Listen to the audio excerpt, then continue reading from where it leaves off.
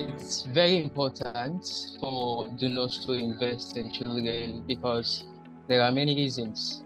Nowadays, children around the world they are suffering and there are a lot of loopholes when it comes to child development process. And for an example, in the community where I find myself, it's a place where it is very, very difficult for children's rights to be protected, for children's rights to be respected, or for the, the well-being of the child for it to be promoted.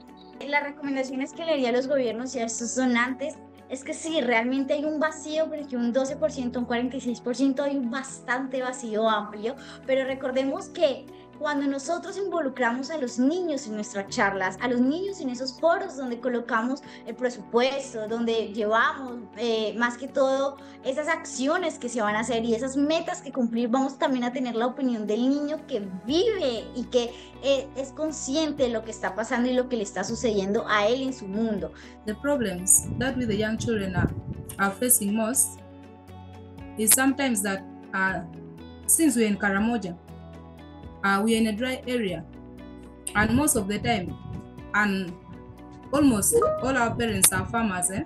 so we as the children in karamoja we are not studying because now there is no money even for going uh, to school. If you are investing in a child it means you are just saving money for future generation. Children are future generation. And if you really try to invest in them like if you take them to school make them to study. It means that you are you are really saving money for for the future. If a child doesn't go to school who can that child become in future? You know for every development for every fast growing development in, of any county it has to it has to do with the upcoming generational leaders. Me personally i didn't know that i would go to school.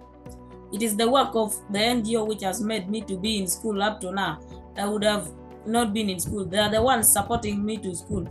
And in addition, also my young brothers and sisters, they are also studying in school due to the support of other NGOs.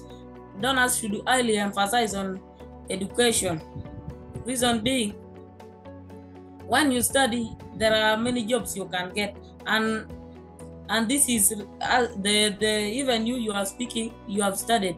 So the children must study so that they can be somewhere somehow. From here, eh, since our parents they they consider as a girl child, uh, educating a girl child is a waste of time.